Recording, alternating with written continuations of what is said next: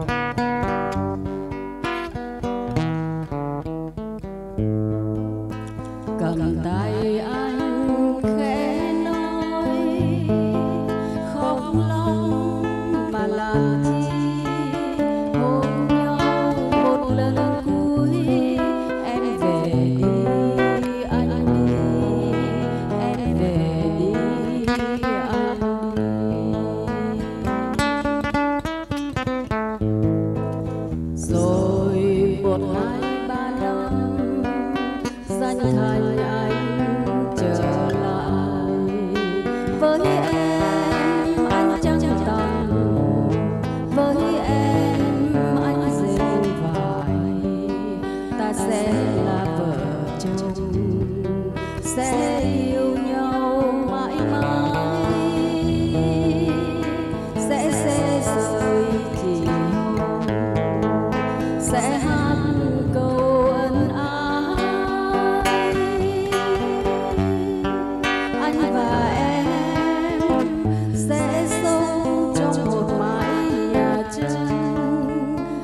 You.